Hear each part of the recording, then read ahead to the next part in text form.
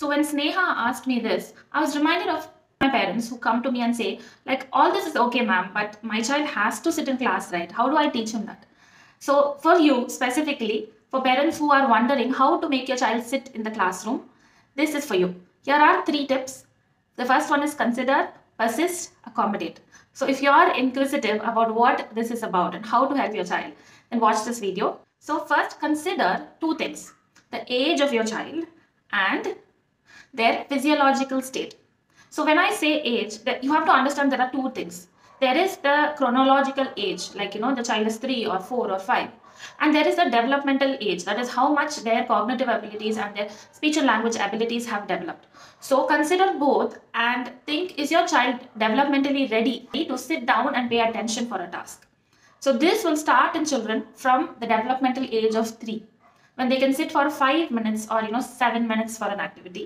Again not more than that. Even these activities are generally things that the child really likes even if not really but at least moderately likes that activity. The second thing to consider will be the physiological state meaning the internal body state. Is your child well fed?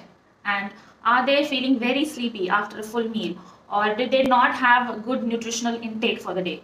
Or are they a little high energy so did they get some physical activity during the day? And did your child have good bowel movements during the day? All these regulate the body's homeostasis or our ability to stay calm and neutral.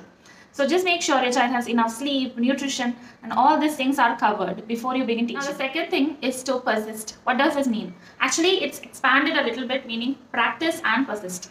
Now discipline is a skill that is difficult for everybody, even myself included. So we all need you know, motivation. We are all trying to get that passion and willpower. But even for children, it's difficult. But what really helps is practice. So you cannot start on day one and expect your child to sit down for half an hour. Start slow and keep it consistent here. So what does consistent mean is you sit down for homework or daily learning practice at a specific time in the day.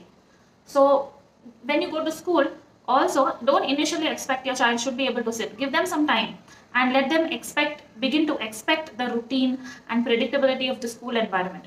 And then they will slowly understand. And persist meaning keep persisting your child to come and sit. This does not persist does not mean force or coerce but it means that if you in, invite your child to sit down for an activity and they are not interested to sit down. They get up and move away. So you think was my activity correct for my child sometimes we have sensory seekers or especially tactile seekers who want to keep touching and moving, feeling something as they are learning. They are not able to sit still. So in that case, make sure your child sits on a therapy ball or they have some fidget item or they're wearing a blanket on them while listening for the task. Um, but practice. So have a consistent time and keep persisting your directions. Even if your child gets up and goes away, give them a few minutes and then again say, let's come back to the table. And even if they get up again, say it, say it again and bring them back. But keep doing this over time and your child will begin to expect, okay, when mommy sits at the table, we are all supposed to sit and do this activity. When teacher asks me to sit, everybody's sitting. This is what we're doing every day. So I guess this is expected and they will start understanding.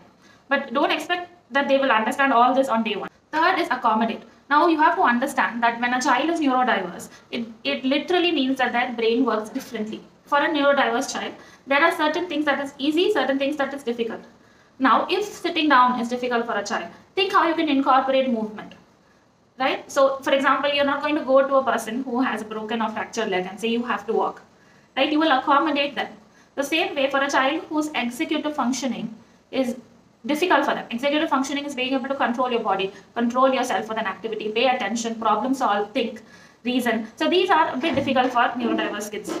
So be understanding and accommodate to their needs add movement based activities give a lot of breaks for your child make sure the sitting environment is very friendly to them they have what whatever sensory need they have is satisfied and they're able to be calm in that in the moment so i'm recapping the three tips the first is to consider the developmental age of your child and your child's physiological state before you ask them to sit down for an activity the second thing is to keep persisting in sitting even if they keep getting up and be consistent in your instruction consistent in your time when you ask them to sit and the third is to be a little bit more accommodative of your child's needs and try to adjust yourself to their needs so that you can teach them effectively.